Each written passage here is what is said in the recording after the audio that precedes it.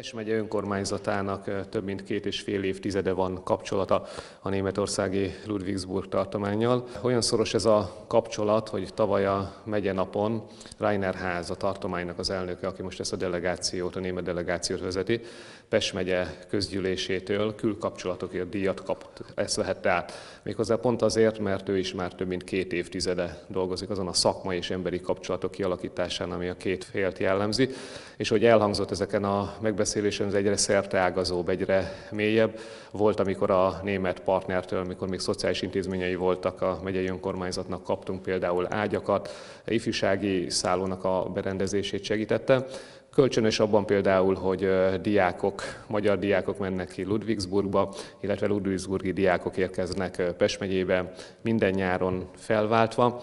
Emellett mindig delegációk mennek így most egy négy, napot, négy napos delegáció van itt a német fél, tavaly a magyar félnek volt kín egy nagyobb delegációja, és ezeket a szakmai, emberi kapcsolatokat próbáljuk mélyíteni az elmúlt két évtizedben, és illetve napjainkban is.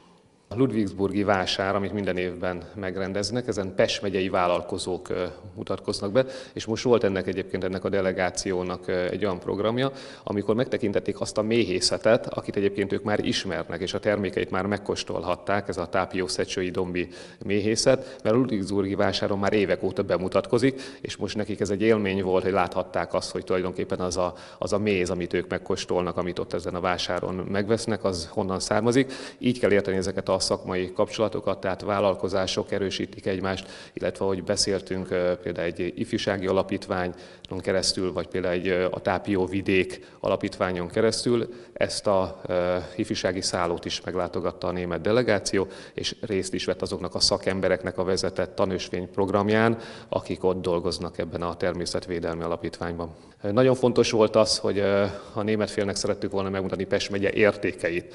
Nem csak egy kiállításon, bár az is cél, hogy ezt a kiállítást, ezt a vándor kiállításunkat majd kivigyük hozzájuk, hanem az, hogy személyesen átéljék és megtapasztalják, megnézzék ezeket a, az értékeinket. Így például a sváb hagyományokról kaptak információt Budaörsön, aztán a következő nap olyan svábokkal találkoztak, akik még beszélik a német nyelvet Nagybörzsönyben, utána kisvasúttal, Börzsönyi kisvasúttal mentek át Márianoszrára. Tegnapi nap folyamán Tápió mentén voltak, és ott nézték meg a tápióság értékeit, ma pedig a Hévízgyörki asszonykórussal találkoznak, és egy gasztronómi élményben is részesülnek, hiszen együtt fognak főzni egy takart káposztát. Tehát az volt a cél, hogy lássák, hallják, megkóstolják, megízleljék tulajdonképpen Pest megye értékeit, és ezt az élményt vigyék haza.